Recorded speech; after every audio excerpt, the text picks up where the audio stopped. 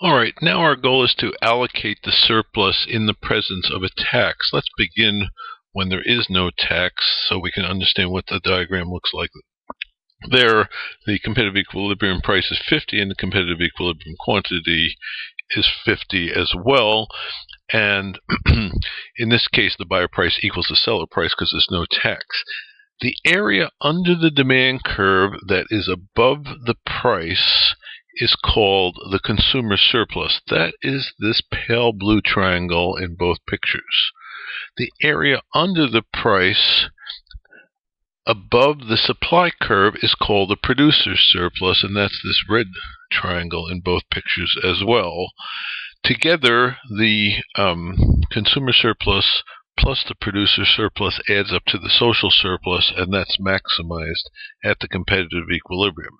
Now I am going to start imposing this unit tax, and let's make it sizable so that we can see what's happening. So I'm going to make it a, that size. Now what happens, the consumer surplus has shrunk because the buyer price has gone up. Buyers get less benefit because now they're paying a higher price. The uh, producer surplus has also shrunk because the sellers are getting a lower price. They are getting less than 50 at this point, so their triangle is also smaller. This green rectangle, which has height equal to the tax and the base is equal to the volume of trade in the equilibrium after the tax, is the revenue that goes to the government. That's the unit tax times the volume after the tax has been imposed. And we consider that surplus. So the tax revenues that are collected is part of surplus. And now this triangle left over is the dead weight loss. So we have now allocated the social surplus to these four possible uses consumer surplus, producer surplus, tax revenue, and deadweight loss. Deadweight loss really isn't a use. That's surplus you don't get as due to the tax.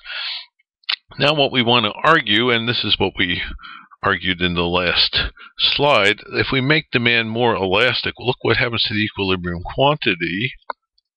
It actually goes down. That makes the deadweight loss bigger. Make supply more elastic, equilibrium quantity going down even more. The more elastic demand and supply are, the bigger is the dead weight loss.